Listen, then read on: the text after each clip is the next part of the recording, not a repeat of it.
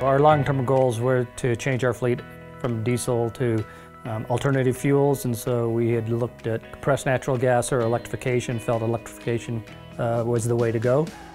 Once we commit to that, going to 100% electrification, um, our, our turnaround, um, most buses have a, a life of uh, 12 years, so um, by 2032 we will have 100% of our buses converted to uh, electric buses.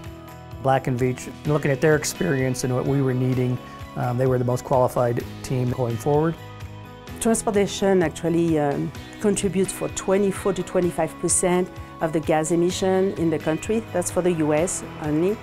Um, so it's actually the largest contributor of gas emission.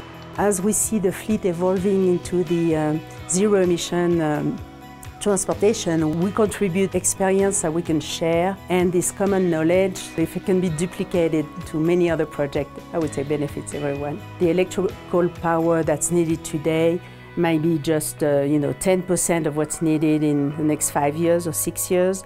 So we plan for the future with uh, utility. We definitely, uh, as much as we could, future-proofed this project. We really market ourselves, the whole town of Vail and the Vail community as a sustainable destination. Anything we can do that you know, shows that we're trying to um, make a change in the climate change because you know, a shorter ski season, less snow truly affects our products that we provide for our guests. This is a good example of things that needs to be duplicated you know, by the hundreds and, and the thousands in the US. Everybody benefits from having cleaner technology and zero emission buses is a very good example of it.